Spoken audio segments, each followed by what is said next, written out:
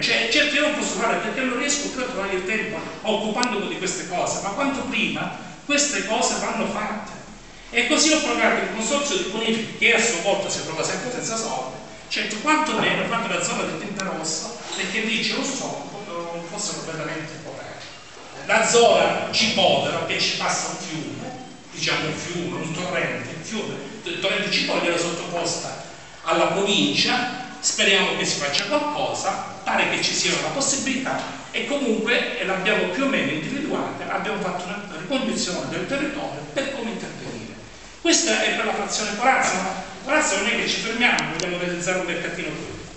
del contadino, un mercatino provinciale, vogliamo fare qualche altra cosa e poi man mano vediamo quello che si fa, anche per esempio l'indicazione che ci ha dato Renzi per quanto riguarda eh, l'individuazione di una scuola, io ho dato la, eh, la scuola della frazione Carazza. Chiusa questa parentesi, poi voglio ritornare un po' sugli affari sociali, un po' avevo accennato qualcosa, comunque abbiamo messo a posto alcune persone che erano in situazioni disagiate, attraverso l'ATREP abbiamo messo in condizione alcune persone di avere un tetto nelle, con tutte le difficoltà di questo mondo a qualche cosa, quindi l'abbiamo fatta, anche questi sono dei piccoli interventi a livello sociale. E poi oltre l'ATER abbiamo cercato di salvare anche il nostro istituto scolastico, l'anno scorso eh, c'è stato un grande impegno per, questa, per lasciare l'istituto comprensivo, per salvarlo, perché voi sapete i ragazzi diminuiscono giorno per giorno e quindi c'è il rischio della, eh, della chiusura, di chiusura quindi dell'istituto comprensivo, ma il problema maggiore era quello della frazione Corazzo, l'abbiamo salvato l'anno scorso attraverso una ludoteca, poiché c'era gente che veniva da fuori e desiderava il tempo prolungato. Oggi non lo so se ci sono le condizioni di fare questo, perché non abbiamo la disponibilità finanziaria, non riusciamo. Tuttavia ci abbiamo messo tutti gli impegni affinché ritornasse la scuola. Abbiamo realizzato dei riscaldamenti a gas in modo tale che si risparmia qualcosa, sia per le scuole eh, per Gramsci e sia per la scuola di, dei fratelli Bandiera e così via. Abbiamo risolto il discorso del cimitero, chiaramente non ce l'abbiamo fatto con i fondi per raccordarlo con il vecchio cimitero, poiché i soldi raccolti nel passato erano una cifra, oggi a distanza di anni ce ne vuole quasi il doppio. Ma io e l'amministrazione comunale abbiamo detto che questo cimitero lo vogliamo eh, completare, speriamo che ci riusciamo, comunque la parte è finita, vediamo come ci organizzeremo. Naturalmente tutto questo dipende dai dipendenti, quando ci saranno più dipendenti, perché un solo geometra non ce la fa e c'è tutta la regione, non è che qui gli impiegati li possiamo mettere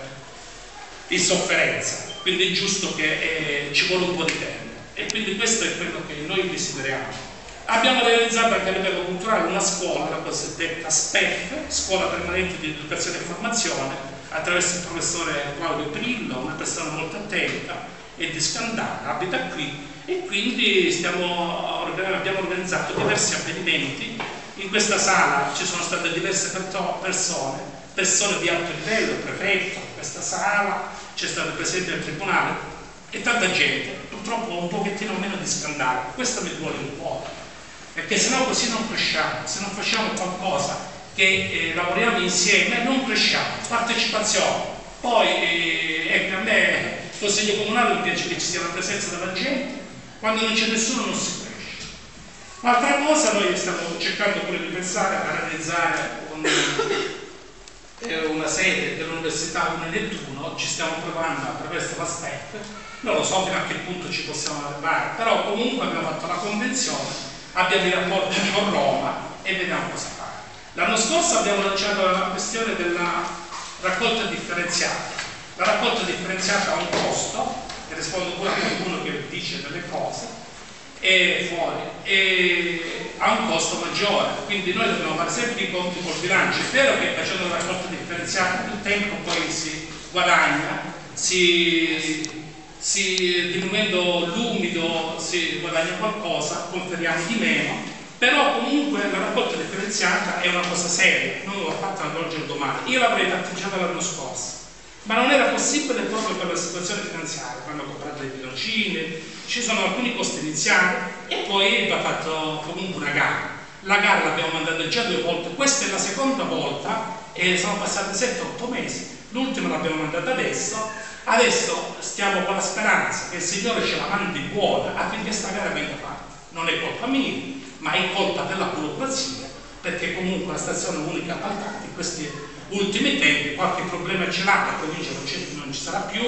eccetera, quindi qualche problema ci sarà. Comunque il capitanato per quanto riguarda la raccolta differenziata è lì. Io voglio provarci, come penso tutta l'amministrazione, perché l'abbiamo pure parlato un pochettino, per farla anche dal mese di settembre, ma vediamo comunque se ci sono le condizioni. Eh, io a questo punto concludo perché non voglio neanche allungare più di tanto la cosa e chiaramente passeremo pure alla parte finanziaria del, del consultivo perché comunque si parla di debiti e ce l'abbiamo. Tuttavia questa amministrazione, con l'aiuto grande che ci ha fatto anche il nostro contabile, il ragioniere Diano, abbiamo una situazione che comunque abbiamo risolto con un mutuo con la Cassa dei Posti e Prestiti come diversi comuni hanno risolto questa qui c'è la possibilità quindi di relazionare le cose in 30 anni però c'è anche un disavanzo dell'amministrazione che è intorno a 1 milione e 700 mila euro più e mentre invece la situazione del debitore è sui 2 milioni e 670 quindi tutto questo è problematico per amministrare quindi che se ne dica di me o di noi questa è la situazione dobbiamo andare avanti. Questa è un'amministrazione che ha intenzione di risolvere la situazione finanziaria. Quindi che qualunque critica vi possa arrivare, ci possa arrivare, noi questo obiettivo vogliamo risolvere il comune da questa grave situazione. Se non usciamo da questa situazione noi non possiamo crescere come comunità e quindi si creano disagi peggiori. Io porto la mia croce, penso che anche voi la portiate e anche la comunità intera ci può dare una mano sotto questo aspetto. Chiaramente il dibattito poi si aprirà, o qualcuno pensa ma che è stato e che non è stato. Problemi dei comuni ci sono tutti, residui attivi ce l'hanno tutti i comuni. Chiaramente bisogna rimboccarsi le mani. Le polemiche a me non piacciono, non voglio scegliere le polemiche, perché se andiamo qui in fondo, poi tante cose vedete che non è come pensiamo. E allora io vi invito a raccogliere il mio appello affinché l'obiettivo unico sia la risoluzione dei problemi e nient'altro, perché le colpe ce l'abbiamo tutti,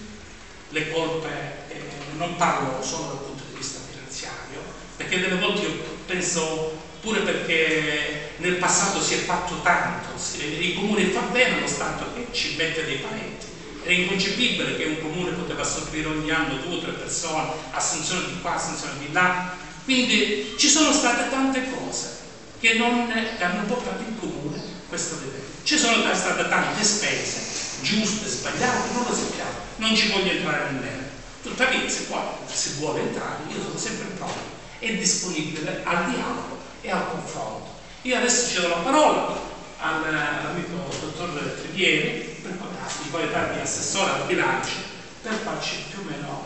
una cosa a livello generale, a livello